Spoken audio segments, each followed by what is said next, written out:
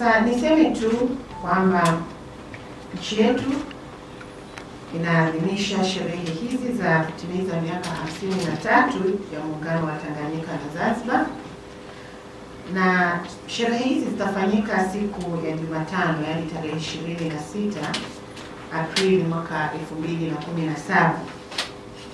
Lakini maadhimisho haya kitaifa yatafanyika hapa mkoani Dodoma, na niwa labda niwape habari wa Tanzania kwamba mgeni rasmi katika maadhimisho hayo atakuwa Dr. John Pombe Magufuli, rais wetu wa Jamhuri ya Muungano wa Tanzania.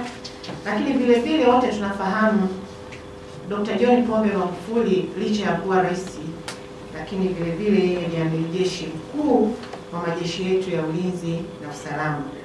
Kwa hiyo Mheshimiwa Rais wetu atakuwa mgeni rasmi katika maadhimisho haya.